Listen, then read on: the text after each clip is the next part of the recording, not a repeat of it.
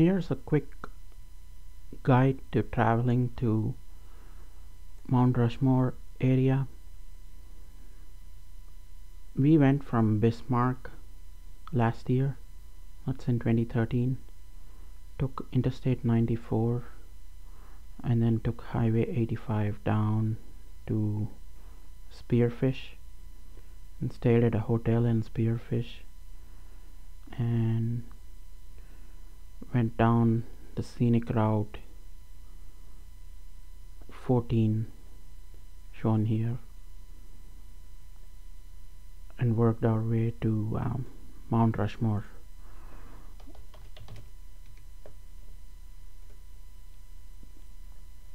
So the directions from Spearfish can be seen here. We took uh, this route actually the scenic route.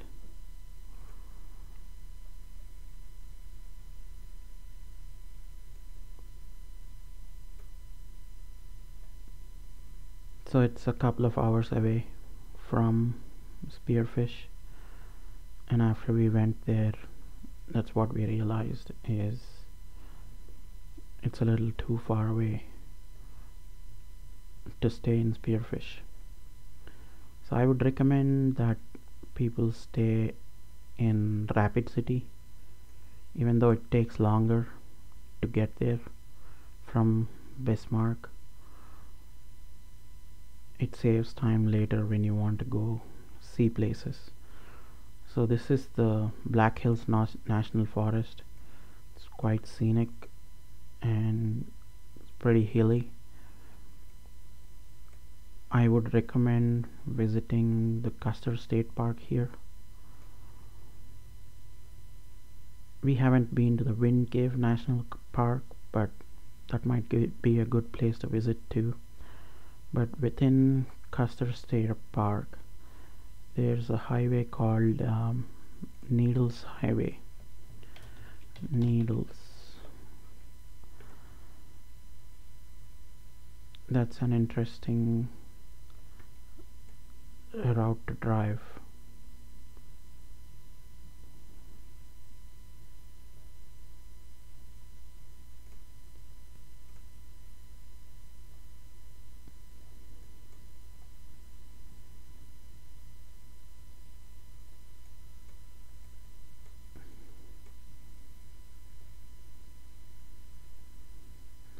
Trying to find it on a map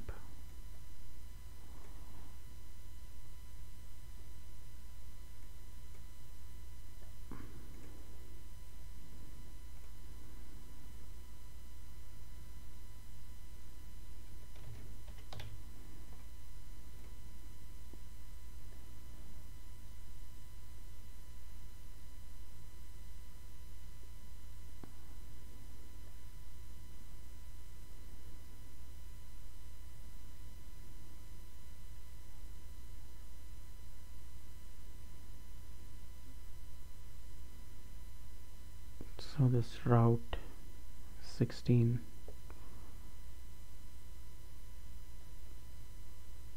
might go into um, Needles Highway. So that's a good place to visit.